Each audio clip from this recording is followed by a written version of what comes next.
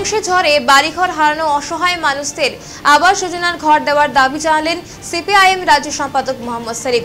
শনিবার ঝড় বিধ্বস্ত কোচবিহার এক ব্লকের সুটকাবাড়ি এলাকা পরিদর্শনে যান তিনি। আর্থিক সাহায্য তুলে দেন এই কালবৈশাখী ঝড়ে নিহত একাদশ শ্রেণির ছাত্র জাহাঙ্গীর আলমের মায়ের হাতে। একইভাবে এই ঝড়ে মৃত দেবদাস পালের স্ত্রীর হাতে আর্থিক সাহায্য তুলে দেন মোহাম্মদ সেলিম ধ্বংসস্তূপ সরিয়ে নতুন করে বাঁচার লড়াই চালিয়ে যাচ্ছেন তারা।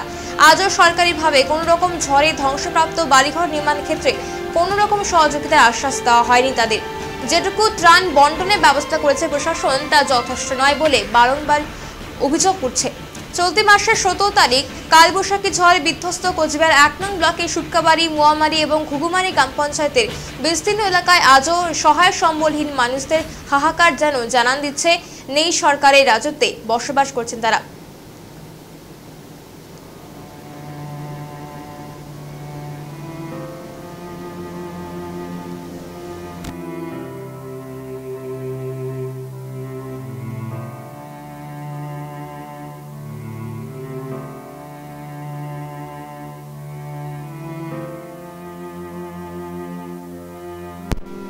বিধ্বংসী ঝড়ে বাড়িঘর হারানো অসহায় মানুষদের আবার যোজনার ঘর দেওয়ার দাবি জানালেন সিপিআইএম রাজ্য সম্পাদক মোহাম্মদ সেলিম। শনিবার ঝড় বিধ্বস্ত কোচবিহার এক নং ব্লকের সুটকাবাড়ি এলাকা পরিদর্শনে যান তিনি। আর্থিক সাহায্য তুলে দেন এই কালবৈশাখী ঝড়ে নিহত একাদশ শ্রেণির ছাত্র জাহাঙ্গীর আলমের মায়ের হাতে। একইভাবে ঝড়ে মৃত দেবদাস পালের স্ত্রীর হাতেও আর্থিক সাহায্য তুলে দিয়েছেন তিনি। ধ্বংসস্তূপ সরিয়ে নতুন করে বাঁচার লড়াই চালিয়ে যাচ্ছেন তারা। আজও সরকারিভাবে কোনো রকম ঝড়ে ধ্বংসপ্রাপ্ত বাড়িঘর নির্মাণের ক্ষেত্রে কোনো রকম সহযোগিতার আশ্বাস দেওয়া হয়নি তাদের। যেটুকু ত্রাণ বন্টনের ব্যবস্থা করেছে প্রশাসন, তা যথেষ্ট নয় বলেই বারবার অভিযোগ উঠছে। চলতি মাসের সতেরো তারিখ কালবৈশাখী ঝড়ে বিধ্বস্ত কোচবিহার এক নং ব্লকের সুটকাবাড়ি, মোয়ামারি এবং ঘুঘুমারি গ্রাম পঞ্চায়েতের বিস্তীর্ণ এলাকায় আজও সহায় সম্বলহীন এই অসহায় মানুষদের হাহাকার যেন জানান দিচ্ছে। নেই সরকারের রাজত্বে বসবাস করছেন তারা।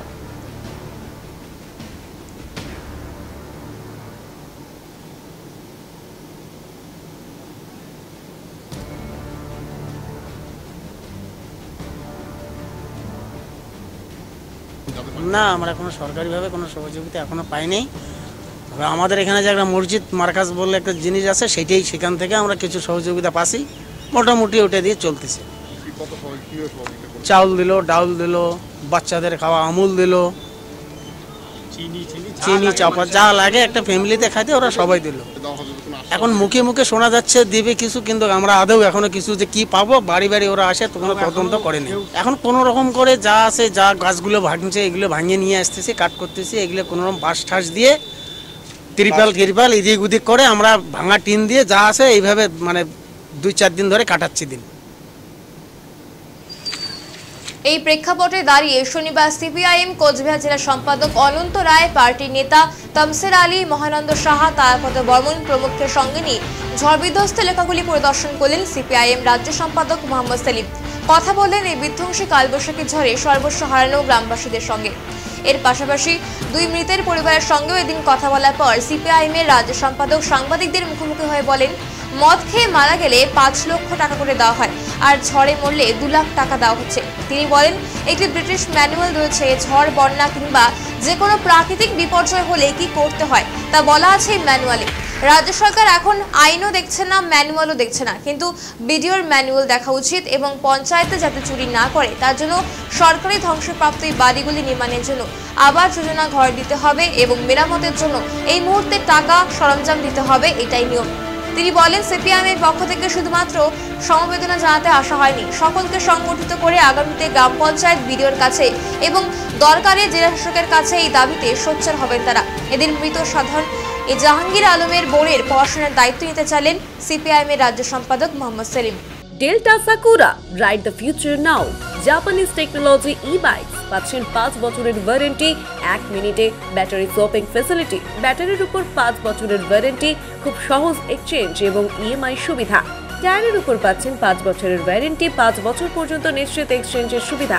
এককালীন ফ্রি টায়ার রিপ্লেসমেন্ট চব্বিশ হাজার পর্যন্ত রেফারেল বোনাস ষাট থেকে আশি কিমি range no license no registration no road tax পাঁচ বছরে আড়াই লাখ সঞ্চয়। আজই আসুন H road Coochbehar ward number four contact zero three five eight two triple two two eight four ঘর বাড়ি গাছপালা সব পড়েছে। তা আমাদের দুজন মারা গেছে। তাদের সঙ্গে ব্যক্তিগত তাদের পরিবারের সঙ্গে দেখা করলাম আমরা। আমাদের পার্টি থেকে যত সমন্বয়ে সাহায্য করা হয়েছে। মদ খেয়ে মরলে পাঁচ লাখ টাকা দেয়। ঝড়ে মরলে দু লাখ টাকা দিয়ে জানলাম। এটা পঞ্চায়েত এই জন্যই তৈরি হয়েছিল এবং বিডিও অফিস জানতে হবে এটা রিলিফ ম্যানুয়াল আছে ব্রিটিশ জমানা থেকে। ঝড় হলে, বন্যা হলে, খরা হলে কি করতে হয়? আমাদের সরকার এখন আইন দেখছে না ম্যানুয়ালও দেখছে না, অন্তত বিডিও ম্যানুয়াল দেখা উচিত এবং পঞ্চায়েত যাতে চুরি না করে, সেজন্য সরাসরি এই বাড়িগুলোকে নির্মাণের জন্য আবাস যোজনায় ঘর ঘর দিতে হবে। ঘর দিতে হবে এবং মেরামতের জন্য এক্ষুনি টাকা দিতে হবে এবং সরঞ্জাম দিতে হবে। এটাই নিয়ম। আমরা শুনলাম, কিছু মুড়ি দিয়েছে শুকনো, তারপরে কিছু দেয়নি। এদেরকে ঘর তৈরি করার সরঞ্জাম, ঘর নির্মাণের টাকা এবং আবাস যোজনায় ঘর দেওয়ার কথা। আমাদের লোকজন শুধু আজকে সমবেদনা জানাতে আসেনি, এরপরে সবাইকে সংগঠিত করে পঞ্চায়েত এবং বিডিওর কাছে, দরকার হলে ডিএমের কাছে আমরা দাবি জানাব। এই বাড়িতে যেহেতু জাহাঙ্গীর যে মারা গেছে, ক্লাস ইলেভেনের ছাত্র, এই বয়সে একটা ছেলে মারা যাওয়া মানে বাপ মায়ের কাছে এর চেয়ে বড় শক্ত হতে পারে না। আর কত স্বপ্ন থাকে, ছেলেরা ভালো ছাত্র, ভালো ছিল। মা যা বলছিলেন যে পড়াশোনা করে একটা বড় কিছু হবে, ভালো কিছু হবে। আমরা যেটা বলেছি, আমাদের এসএফআইকে আমি ধন্যবাদ জানাব, তারা প্রথম এসেই তারা বলেছে এই যে ক্লাস এইটে মেয়েটা পড়ে, তো দাদার স্বপ্নে যাতে মেয়েটার মধ্যে পূরণ হয়, তার পড়াশোনার দায়িত্বটা নিয়েছে। আমি নিজে বললাম, এরকম অসংখ্য, আমরা তো গোটা রাজ্য জুড়ে কোথাও কেউ শহীদ হচ্ছে, খুন হচ্ছে, তখন হচ্ছে তাদের সেই সন্তানদের অনাথ যারা এতিম হয়ে যাচ্ছে, তাদেরকে এরকম আমরা দায়িত্ব নিই। তো এর যেহেতু বাবা মা আছে, বাবা মার সঙ্গে এখন থাকবে, কিন্তু যদি ওর বাবা মা মনে করে তা আমরা কোনো মিশন স্কুলে, আবাসিক স্কুলে ওকে ভর্তি করে দিয়ে নাইন টেন ইলেভেন টুয়েলভ আরও ভালো করে পড়াশোনা করতে পারে, যাতে দাদার যে স্বপ্ন ছিল সেটা বোন যাতে পূরণ করতে পারে। ঝড়ে মৃত ছাত্র জাহাঙ্গীর আলমের মা জামিনা খাতুন জানিয়েছেন তাদেরকে আর্থিক সহযোগিতা করে গেছেন মোহাম্মদ সেলিম। এর পাশাপাশি সরকারের পক্ষ থেকেও মৃতের পরিবার হিসেবে তাদের আর্থিক সাহায্য করা হয়েছে বলে ছেলেকে আর ফিরে পাবেন না। এটাই তো সবচেয়ে বড় দুঃখ। দশ হাজার টাকা দিয়ে গেল। এটাই আর কি। আর কি বলল? বলল ওই যে আমাদের বাচ্চা আর একটা আছে ওটাকে পড়াশোনার দায়িত্ব নিতে চালো। এটাই। সরকার থেকে এখন অব্দি কি কি সাহায্য পেয়েছেন আপনারা? সরকার থেকে ওই যে সেদিনকে একটা দুই লাখ টাকা চেক দিছে আর কেউ কিছু দেয়নি। ঘর তো ভেঙেছে তার জন্য সবগুলো শেষ। আমাদের সবগুলো শেষ শেষ। মানিকটা যে আমাদের চলে গেল যে। আমি কিছু চাই না তো আমার শুধু মানিকটা যদি বাসে থাকতো কিচ্ছু চাই না। আমার মানিকটাই সব কিছু স্বপ্ন।